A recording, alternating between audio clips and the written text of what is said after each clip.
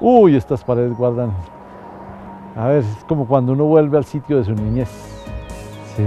Cuando uno regresa después de muchos años a su pueblo y empieza a recorrer los rincones, las callejuelas, las esquinas, los espacios, donde se fue elaborando esa primera historia. Aquí se fue construyendo la primera historia de la universidad. Los prolegómenos, los inicios, los grandes inicios de la universidad, la valentía, el coraje de las personas que ven en esa época, la decisión, el cariño, el empeño que le pusieron. Bueno, yo llegué cuando ya la universidad llevaba como unos 7, 8 años. Sí. Pero aquí inició la primera, los, el primer grupo creo que era como de 45. Sí. En el segundo semestre de 1989. Por eso vamos a celebrar ahora los, los 25 años de estar funcionando. Corría el año de 1963 cuando las religiosas de la comunidad Hijas de la Iglesia y el padre Álvaro Castillo Dueñas comenzaron a dictar capacitaciones a catequistas parroquiales. Cuatro años más tarde, Monseñor Ángel María Ocampo Berrío crearía el Instituto Catequístico Juan de Castellanos, que daría origen a una de las mejores universidades de la región.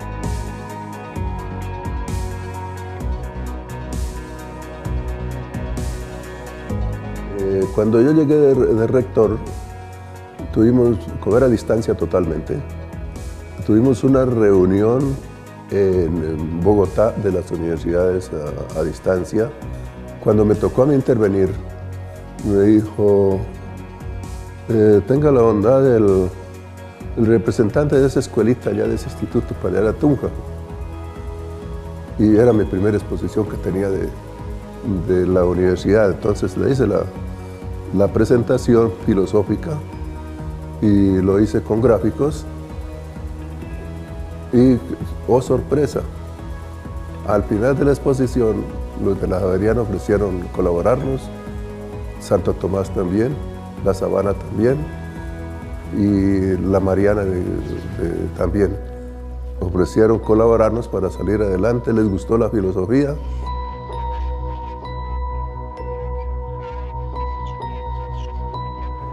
En este espacio nació la Juan de Castellanos. Nació primero como un instituto catequístico, cuando esta parte del seminario estaba todavía en obra negra.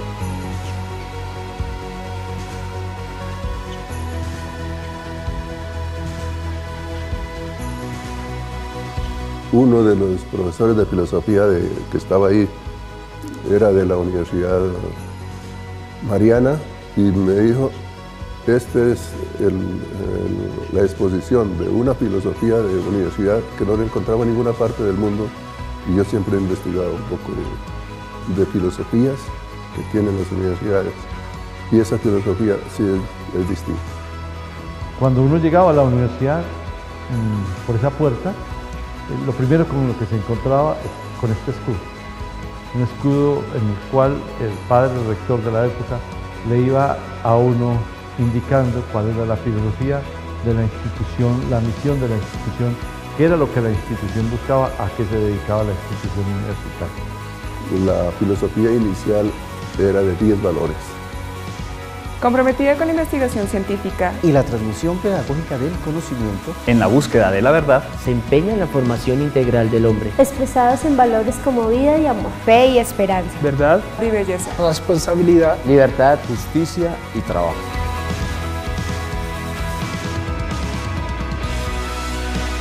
Aquí era el aula máxima y hacia allá estaban los salones y aquí abajo estaba la biblioteca. Este fue el comienzo de la Juan de Castellano. Aquí duró la universidad más o menos funcionando desde 1989 hasta el año 2003. Casi 14 años funcionó aquí, cuando los programas en su mayoría eran programas de educación a distancia. Como teníamos la información de las otras universidades que tenían los programas, pues el reto era superarlos del primero, con sentido de pertenencia de iglesia. Esta institución fue vista, dijéramos, como una institución, por supuesto, que nace en la iglesia para apoyar a la iglesia y para, para continuar también, para prestar este apoyo en la formación de personas laicas que pudieran, desde su vivencia y desde su formación, prestar un servicio a la comunidad en general. el problema era económico. Entonces dijo, señoría Castillo, yo tengo la promesa de un padre Micolta, él no lo dijo en ese momento que era Micolta, sino de un padre simplemente, dijo que había un padre que se comprometía a ayudar con 20 millones al instituto y que después se los pagaran. Yo tuve una experiencia también, pero esa no era tan, tan agradable. Fue en el año 2001, al final, cuando se tenía que tomar la determinación frente al personal que estaba trabajando en el instituto. Fue un momento muy difícil, eh, muy amargo, por así decirlo, porque fue el momento en que por salvar al instituto, porque una de las dificultades que teníamos al comienzo era la parte económica. No teníamos recursos y entonces teníamos que reducir personal y en el diciembre del 2001 hubo que pasarle la carta de renuncia a, a todo el personal. Y eso fue un momento para mí, que en, ese, en aquel momento ejercía la rectoría, muy difícil, de los más críticos, pero gracias a Dios, a esa determinación y por supuesto apoyada por el Consejo Superior, logramos que el instituto tomara un nuevo aire, hubo que reducir un, eh, personal porque la, capacidad económica no nos daba para seguir manteniendo algunas personas. Y eso le dio un, como un nuevo aire a la institución. Y de ahí en adelante ya las cosas comenzaron, pues podemos decir, a, a caminar. En aquel tiempo el rector era Monseñor José Vicente Huertas Vargas, hoy obispo de Garagoa, pero a él le, le, correspondió también una época más difícil tal vez, porque él en ese tiempo estaba prácticamente solo. Al hacer este recorrido empezaron a revivir ciertos momentos importantes en la vida de la Juan de Castellanos, porque después de mucho tiempo de funcionar en el seminario, llegamos a este lugar. Entonces, donde nació la Juan de Castellanos, era un espacio que le correspondía al seminario y entonces ellos nos ofrecieron este sitio que era donde funcionaba la escuela de música. En mis tiempos nos trasladamos desde el Instituto Juan de Castellanos, Seminario Mayor de Tunja, a una sede que quedaba aquí en la ciudad, en donde logramos una gran recuperación de estudiantes, pero que aún todavía quedaba pequeña.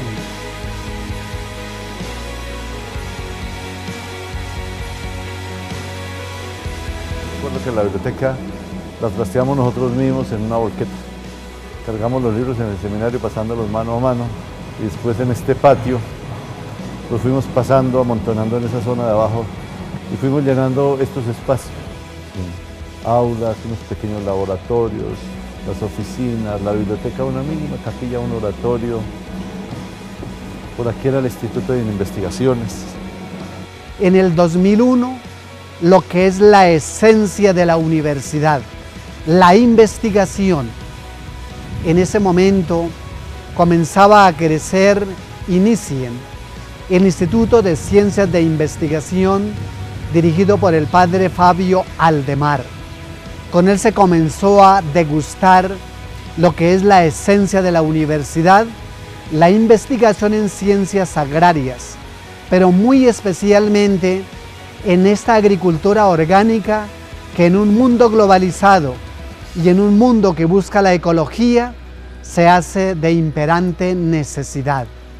Así fue que reforzamos la esencia de la universidad, que fue la investigación. Hay cosas que todavía quedan, realmente.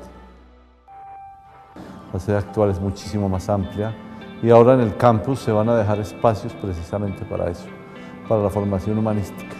Una insistencia en que el estudiante debe prepararse no solo en cuestiones de su propia carrera, sino que tiene que mirar otros espacios, otros ambientes, en los cuales también puede de alguna manera eh, desarrollar esos talentos que tienen. Hay estudiantes que tocan muy bien, cantan, danzan, hay estudiantes que tienen una gran facilidad para el teatro, la expresión cultural, todas esas cosas hicieron en este bello teatro.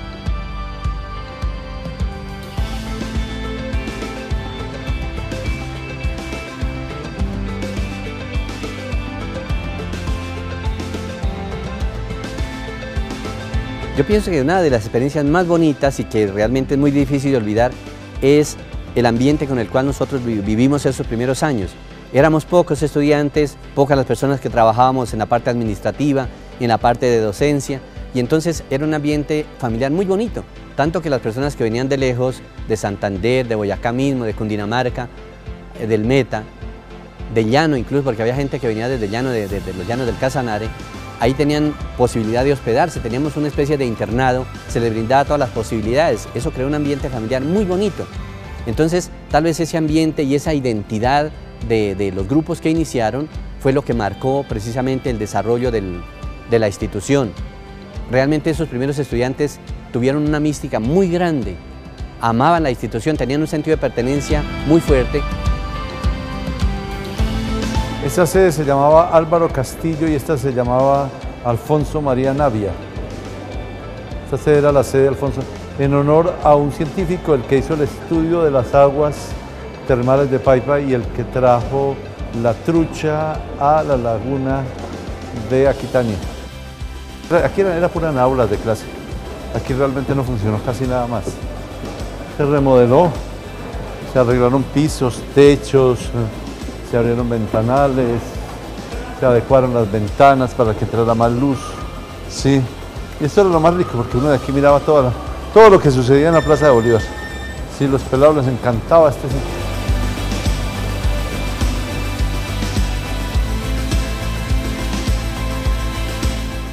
Pensando en el desarrollo de la región y la formación integral de profesionales que den respuesta a las necesidades de la sociedad, la Fundación Universitaria Juan de Castellanos ha creado programas técnicos, tecnológicos, de pregrado y posgrado, del más alto nivel académico.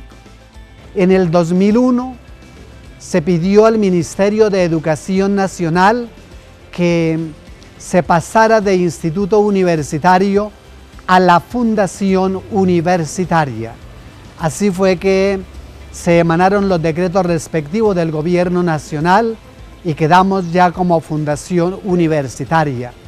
Todo esto para que en un futuro como el actual que vivimos pase a ser Universidad Juan de Castellanos. Hola, Juan de Castellanos en este momento es una institución sólida, es una institución reconocida, es una institución que ha ido mejorando en todos los aspectos, eh, no solamente en cuanto a la calidad de educación, sino también en cuanto a espacios, ambientes, servicios. Eh, ha ido ampliando su cobertura, ha ido creciendo en programas presenciales y se ha ido consolidando en lo que fue su origen, una eh, universidad que quería ofrecer capacitación a docentes con los posgrados que los tiene a lo largo y ancho del país nos dimos a la tarea de trabajar por el bienestar estudiantil, bienestar para el cuerpo administrativo, para el cuerpo docente y su capacitación, y también y sobre todo para nuestros estudiantes, para que al llegar a la Fundación Universitaria Juan de Castellanos, ellos se sintieran en su casa y fueran los primeros en hacer promoción a otros estudiantes.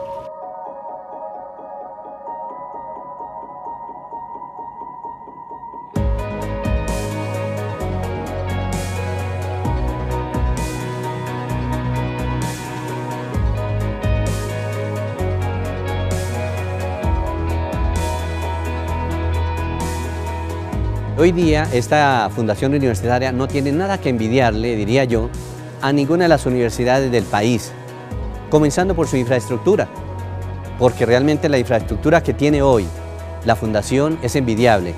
El hecho de tener este edificio donde antes funcionaba la curia episcopal, pues eso le da un valor muy grande en su capacidad física.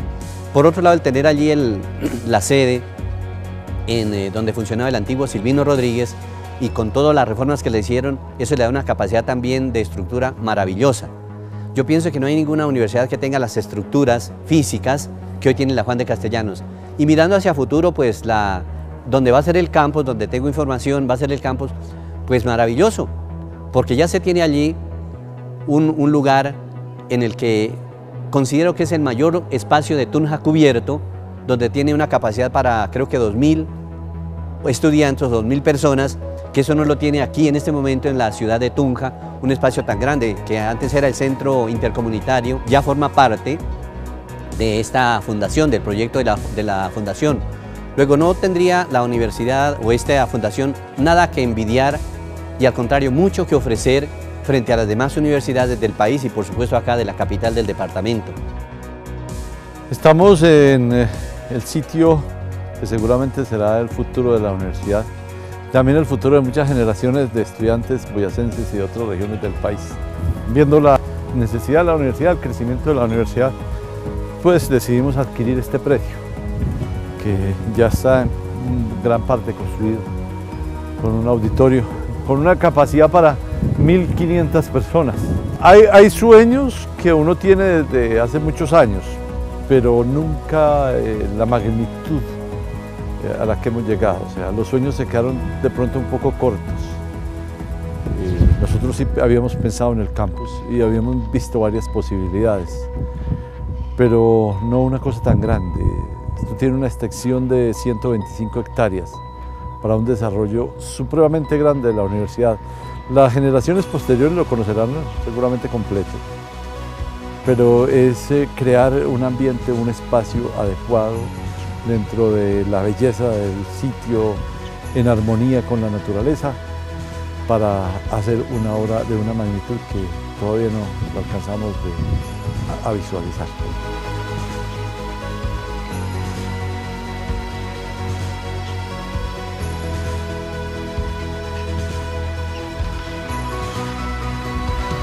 la Juan de Castellanos en el momento en que está viviendo es el resultado del esfuerzo, del trabajo, de la dedicación, de las ilusiones, de los sueños de muchísimas personas que a lo largo de estos 25 años han contribuido para que la universidad llegue a ser lo que en este momento es. 25 años al servicio del bien común y el progreso de la región y el país han dejado lecciones aprendidas, pero sobre todo nuevos retos y oportunidades para convertirnos en la mejor opción de educación superior. Bueno, 25 años es en el ámbito de las universidades un tiempo muy corto. La Universidad de Bolonia apareció en el año 1181. Es la universidad más antigua del mundo. Entonces, si nos comparamos así, pues 25 años apenas estamos en capullo, estamos apenas naciendo. Pero en el recorrido eh, de la universidad, 25 años es un número muy significativo,